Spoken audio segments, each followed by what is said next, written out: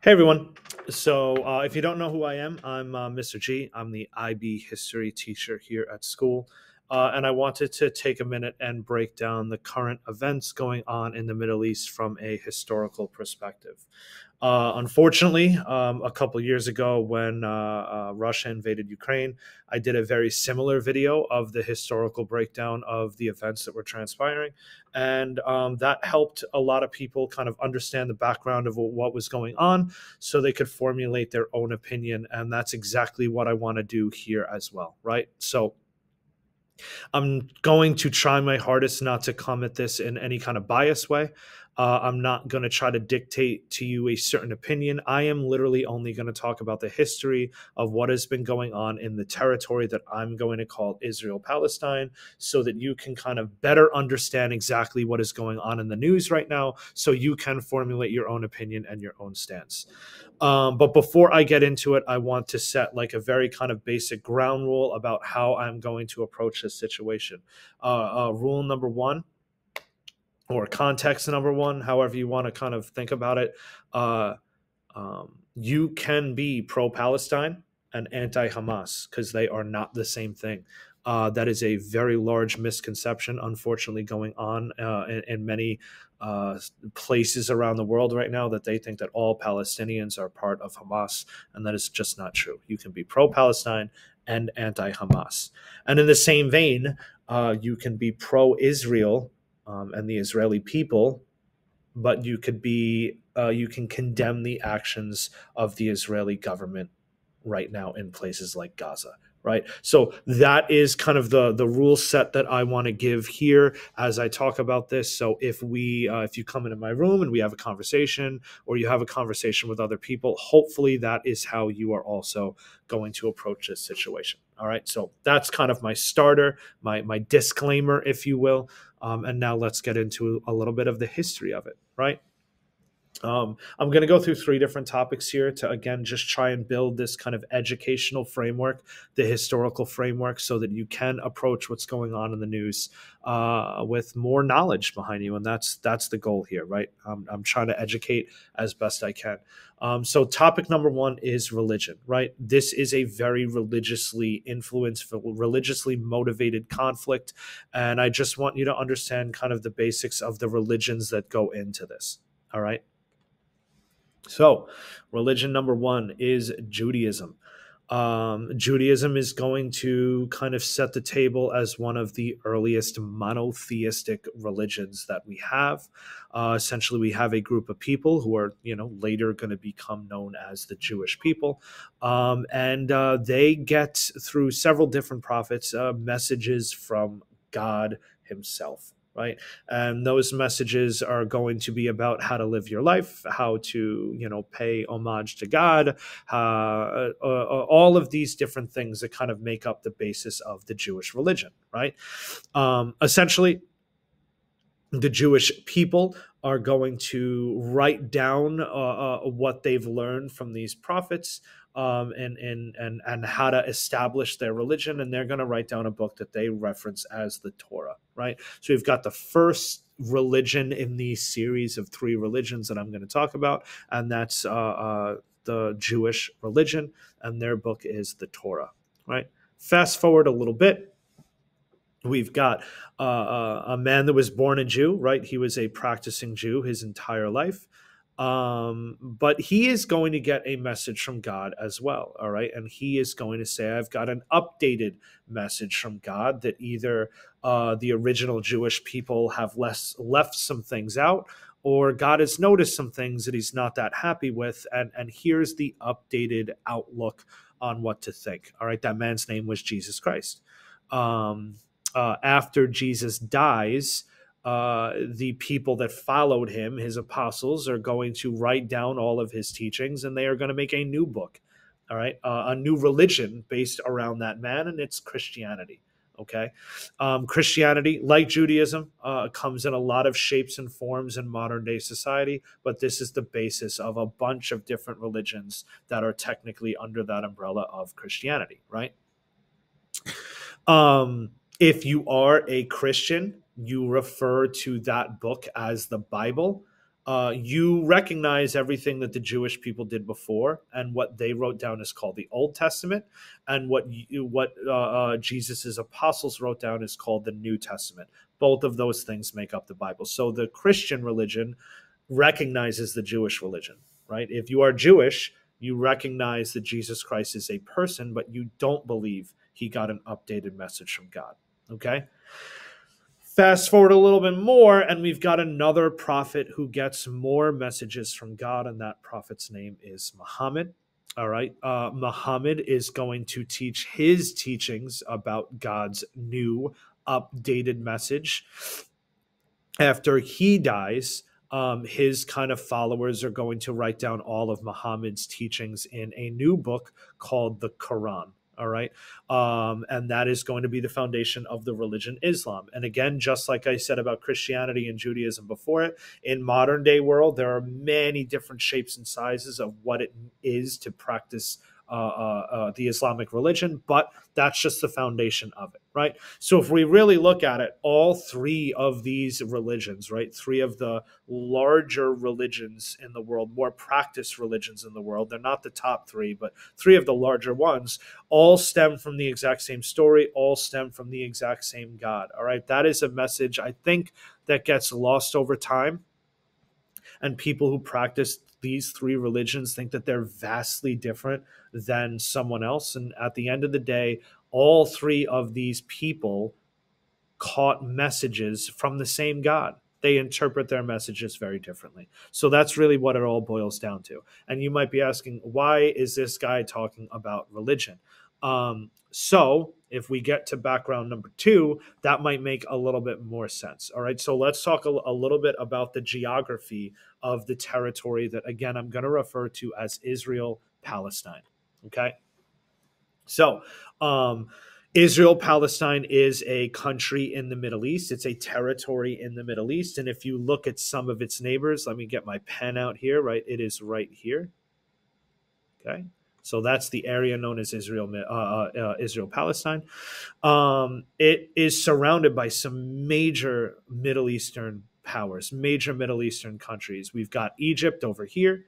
We've got Saudi Arabia, we've got Iraq, we've got Iran, we've got Syria directly to the north, and then we've got a much larger country that isn't necessarily totally in the Middle East, but also Turkey as well, right? So it's surrounded by some pretty major countries, and that's no knock on uh, Jordan and Lebanon, which are uh, bordering uh, Israel Palestine as well. Um, especially if you look at the news right now, you might hear a lot more about a country like Lebanon and how it's going to have an influence in the modern day situation. But I'm not here to get into the modern day. I'm here to talk about the history. So that is where Israel Palestine is located in the greater context of the Middle East, right? Uh, now, uh, this is the territory of Israel Palestine as well. Um, and it, uh, again, if you go back to kind of background number one, the reason that I talked about religion here um, is very important in this region. So if we look at this place right here, all right, uh, Jerusalem is a very, very, very holy city to all three of those major religions, right? Um, uh, both uh, Judaism, Christianity, and Islam all have a very basic foundation. Uh, kind of their origin stories all come from this part of the world. So all three religions are very tied to this area, which is why this territory has huge religious implications, right? Because all three have major cities or regions that are super important to the basis of their religion. All right. So you have to kind of understand religion to understand why this territory is as controversial and as sought after as it currently is. Okay. Um, so that's Jerusalem. There are other major cities, right, um, that kind of fall into this story as well. Jerusalem is one that I'm going to focus on. This entire region right here is going to be something that we currently refer to as the West Bank, and that has a lot of holy cities inside of it. Okay. Topic number three, 20th century. All right, this is my specialty. Um, if you take my course, IB history here at school, um, these are going to be topics that we talk about a lot.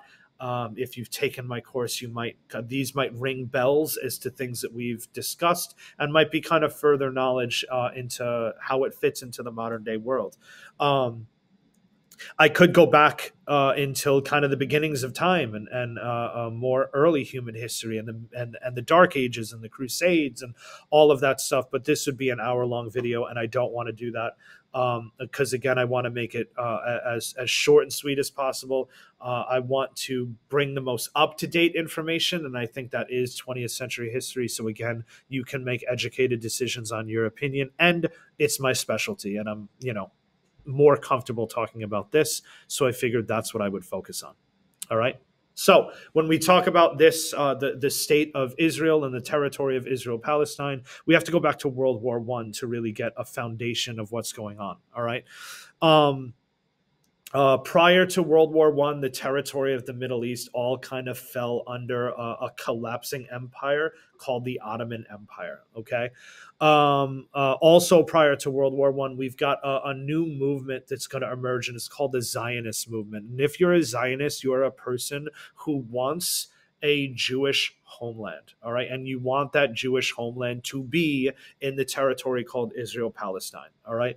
Um, unfortunately for the Jewish people, kind of everywhere they've been throughout history, they've been heavily prosecuted and thrown out of the places that they lived. So, your Zionist really wants a Jewish homeland governed by Jewish people so that they could feel safe to practice their own religion away from prosecution. All right.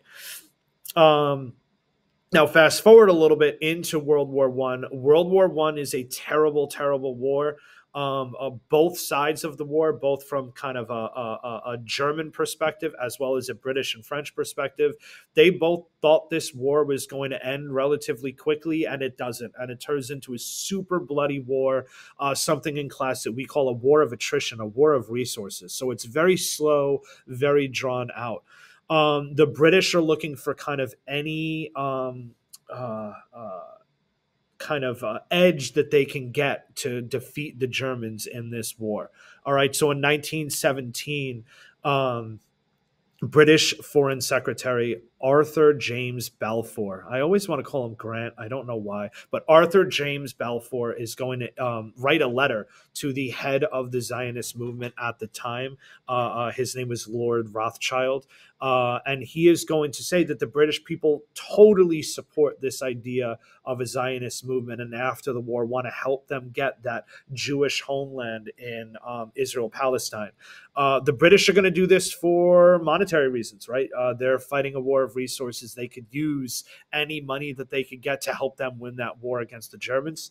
Um, so they are going to promise that land to the Jewish people after the war if the Zionist movement can help them with kind of funding for the war, right? That whole chain of events is called the Balfour Declaration, and it's really at the centerpiece of the modern day issue going on there now. So you kind of have to understand that, laying that groundwork, that framework to understand what's going on right now.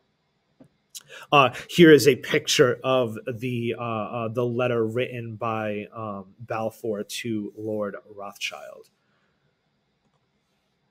All right. Uh, at the same time, um, the British kind of double dip the chip a little bit, and they get involved into two separate groups of people.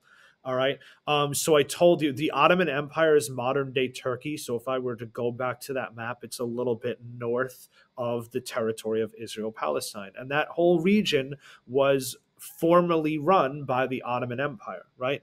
So if we fast forward to the war, uh, prior to the war, the Ottoman Empire in class, we call them the dying old man of Europe, right? It's an empire that is on the verge of collapsing in on itself.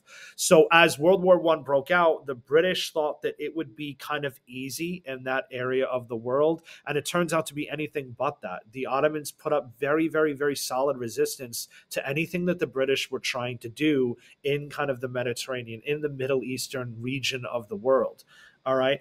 Um, there's a major battle in World War One called the Battle of Gallipoli. It's also called the Battle of the Dardanelles Straits, the Straits of, of Turkey, right?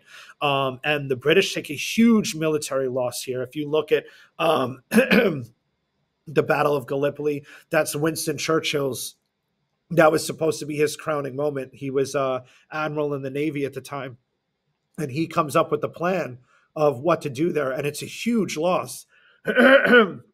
a huge loss for the British. So they're kind of scrambling about what to do in that part of the world. So they are going to approach the Arab people. All right. And uh, they're going to ask the Arab people to start their own wars for self determination and independence from the Ottoman Empire. And the British figure that if the Ottoman Empire has to now fight the Arab world, they're not going to be able to contribute to the World War One itself. And that's going to be a huge advantage for the British and the French as they're trying to defeat the Germans. Okay.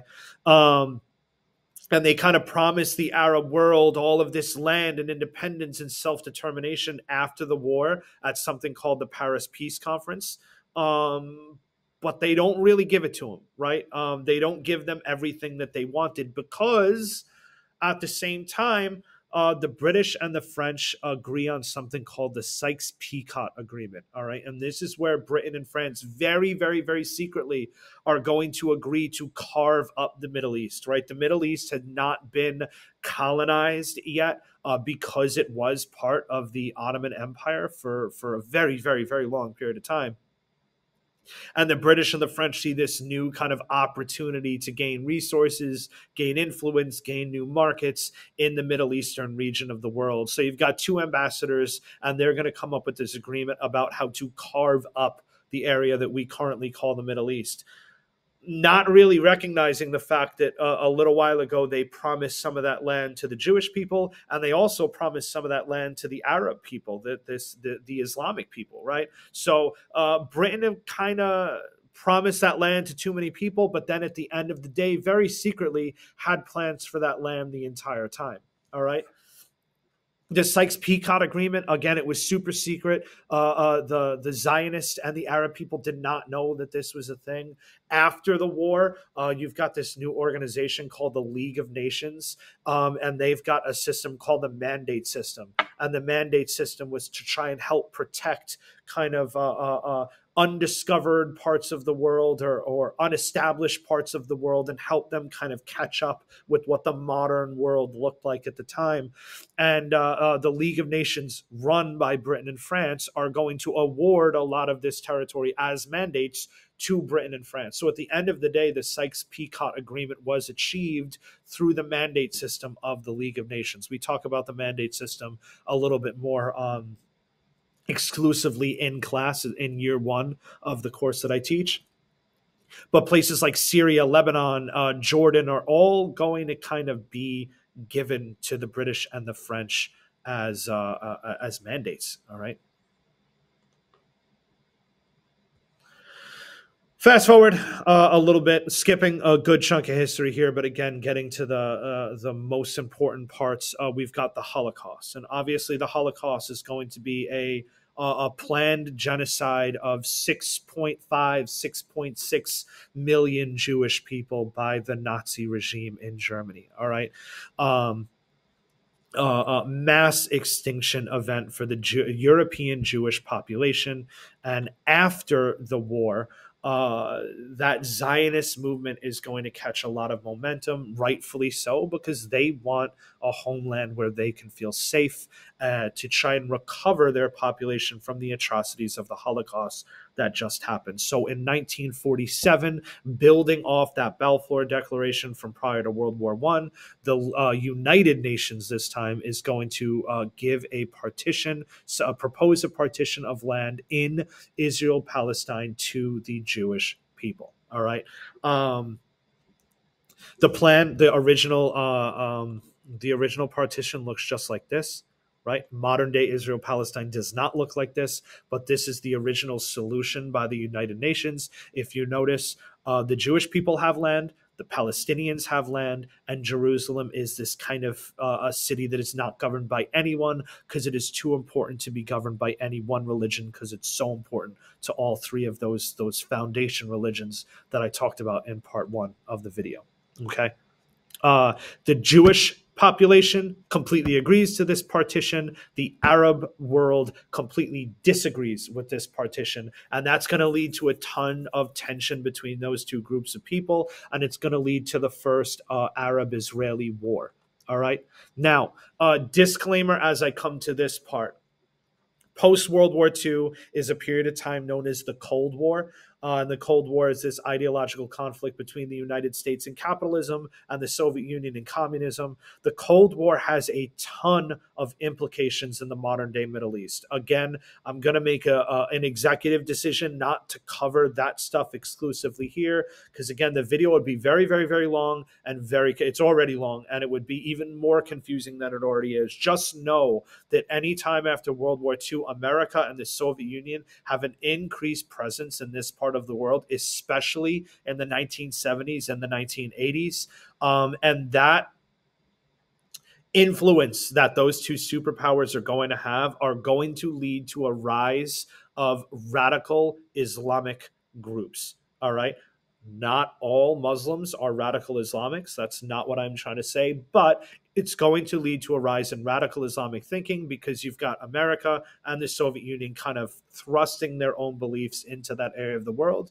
And a group of people resist it and become more uh, uh, uh, radically thinking to protect their own religious beliefs. Okay. So just know that that's going on in the background as I'm talking about other stuff. All right.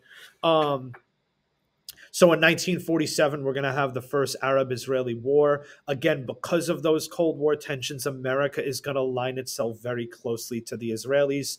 Uh, Israel is America's closest ally um, in the Middle East and one of their closest allies in the world in general.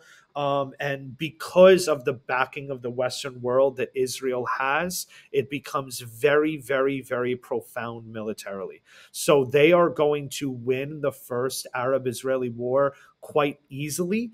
Um, and that is going to lead to conquering more territory that once belonged to the Palestinians. Now they're part of Israel and that's going to lead to the displacement and a refugee crisis of almost a million Palestinians that are now trying to move out of their former homes into new territory.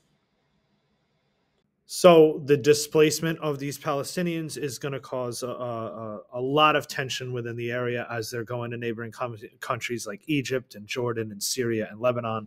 Uh, it's it's going to create problems for the Palestinian people um, uh, uh, finding a, a, homeland, right? Um, just note that one of the places that a lot of these Palestinians are going to go to, if you look at this map, is this area over here that again we can kind of call the West Bank later on, and this area here that we currently call the Gaza Strip. Right, so that's where some of these Palestinians are going to begin to take uh, uh, uh, refuge after the first Arab Israeli war. Okay, so Let's move on. Um, the Suez Crisis. So this is 1956. This is one of those things that I don't want to get too down into the rabbit hole of, uh, because essentially this is one of those Cold War uh, uh, crises, right? This is a Cold War situation that is very, very, very nuanced. But essentially, you've got um, uh, a conflict over the Suez Canal. Right now, the Suez Canal is one of the most important waterways in the entire world, and the Suez Canal is in Egypt. All right, Egypt being part of the greater uh, uh, um, Arab world, the greater Middle Eastern world. Okay, um, so essentially, you've got a situation where uh, uh England and um, France are going to try and increase their control over the Suez Canal. Um, there are things going on internally in Egypt that are not allowing England and France to freely trade using the Suez Canal, and they don't want that. Right? No one wants to pay money to trade through such a major waterway. Um, so they try and figure out a way to make Israel look like they are being the aggressor in this region right here. All right, this is technically Egyptian land. It's called the Sinai Peninsula. All right. So they want Israel to kind of like make a mess, and Britain and France are going to come and clean it up. And because they clean it up, they kind of get to trade freely in the Suez Canal. Um, that's the background of the Suez crisis. Even though it's a Cold War thing, America and the Soviet Union have nothing to do with this. This is Britain and France acting kind of independently of the the superpowers at the time. Okay. Um, the Suez Crisis, I, I, skipped too quickly there. The Suez Crisis is going to end with a lot of the Arab world being angry with not only the Britain, the British and the French for causing this, but also the Israelis for the stance they took at the beginning of the crisis. And that is going to fast forward into uh, the Six Days War. All right, so there's a lot of tension in the Middle East between the Arab world and the and the the the, uh, the state of Israel uh, that carries over from the Suez Crisis, and it leads us to our kind of second major war in the region, and that's the Six Six Days War. All right. Um, essentially, it is kind of Egypt is at the center of this, again, holding on to some of that tension left over from the Suez crisis. And they are going to try and block Israeli trade um, um, throughout kind of the rest of the region. All right. Um, as a response to the uh, aggression by the Egyptians here, Israel is going to launch an airstrike on Egyptian airfields. Again, Israel is militarily the strongest country in that region. So if they are activated militarily, uh, they're probably going to have the upper hand in that conflict. And just by name alone, the Six Days War, you can imagine that this isn't the largest military conflict of all time. Uh, the Israelis have a pretty easy street here uh, uh to a win. All right. And that win is going to lead to very, very, very different borders in the Middle East now. All right. So, uh, as you could see on my kind of graphic here, Israeli state before the war, Israeli state after the war, right? Um, uh, in 1967, the United Nations is going to help uh, broker a ceasefire, which is great. Uh, but at the end of the day, the Israeli state is going to capture a ton of territory, specifically from Egypt, that um, uh, that really again sets off a lot of tensions they're going to trigger in the region. They're going to be very hard to fix right? A ceasefire doesn't fix tensions it fixes the fighting right? So the problems that are existing in the middle east uh, uh, are are amplified. Um, they're not fixed yet and uh, the arab world is is is suffering because the israelis are winning these conflicts okay? Um, the occupation that israel has in some of this territory, again, is going to most negatively in, uh, influence the Palestinian people, right? Because now they took more land in, again, that place that we call the West Bank and the place that we call the Gaza Strip, and Palestinians live there, but Israelis are, are having an increased presence in those regions because of their military conquest, right? So the Palestinian peoples are once again refugees and once again do not necessarily have a place that they can settle down and grow on their own, okay? Next, this is a big deal. Uh, in 1973, so again, these are those tensions that are not being fixed, right? A ceasefire does not fix tensions. Um, in 1973, we've got the Yom Kippur War. All right. Uh, if you are a Jewish person, you know that Yom Kippur is one of your high holidays. If you're not a Jewish person, I just told you, uh, Yom Kippur is one of the high Jewish holidays. So, uh, at a time period where the Jewish population in Israel and the Jewish military kind of lets its guards down to celebrate, again, a very holy uh, day for them, a, a very holy celebration. Uh, the Arab world is going to launch another attack on the Israeli state. Again, kind of led by Egypt, and this time Syria is a little bit more involved as both of them are looking to gain back territory that they lost in the Six Days War prior. Okay, so Egyptian and uh, Syrian uh, forces are going to attack the Israelis during Yom Kippur. Again, hence the name Yom Kippur War. And they are going to get off to a very, very, very quick start because, again, the Israelis are not expecting this attack. Uh, the Arab Israeli war is going to help kind of uh, uh, uh justify or fix, I not shouldn't say justify, help right some of the territorial uh, gains that Israeli made during the last war, right?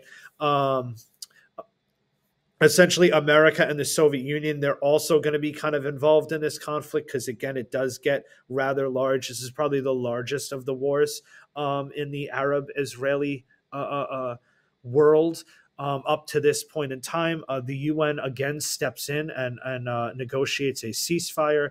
Um, and we're going to see again, if you look at our map here, the territory is going to return to more like the territory we saw prior to the Six Days War than we saw after the Six Days War, right? So places like Egypt, places like Syria get some of their home territory back, which is great for them. But again, the Palestinians are kind of uh, left, a lot of them are left without a home from this war as well, because not all Palestinian territory is, retur- is returned to Palestine.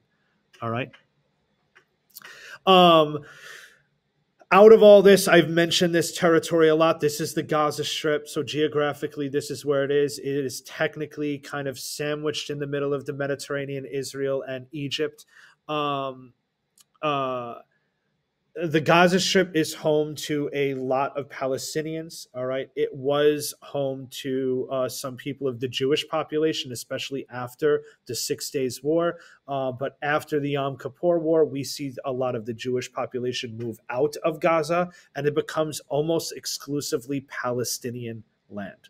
Okay. So, um, We've got a lot of changing of people who live in the Gaza Strip throughout all of these conflicts that are going on in the Middle East. All right. Now, this is Hamas. All right. This is kind of a key player in the conflict that we're currently talking about. All right.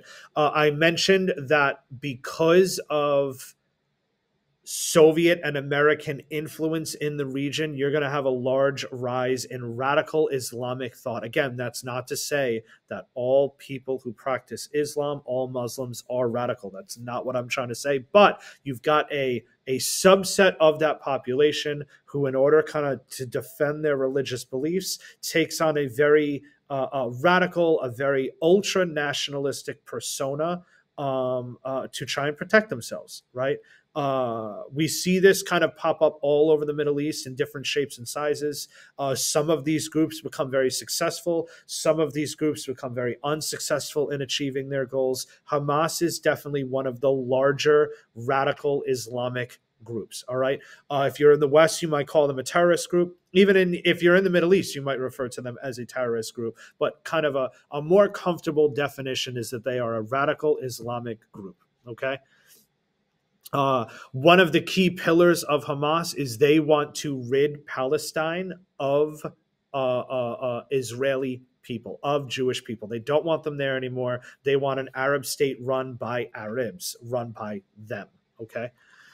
Um, so in 2006, in that Gaza Strip kind of area, Hamas is going to win a large political representation in in the government of that region. So ever since 2006, Hamas has kind of controlled the Gaza Strip because of their not only kind of military presence, but also because of their political presence in that region as well. All right. Uh, they also control a good chunk of that West Bank. That's not as prominent in the current day conflict as Gaza is. So that's why I'm kind of focusing on Gaza. As Hamas increases their kind of control over Gaza, Israel becomes more and more worried because, again, one of the key pillars of Hamas is to rid the Middle East of the Israeli state. Okay um, because Israel is so kind of concerned, uh, either justify justifiably or unjustifiably so. That's your decision to make. Um, they do a lot of kind of preemptive measures in terms of blockading and and putting up barriers between Israel and the Gaza Strip because, again, of that increased Hamas presence there.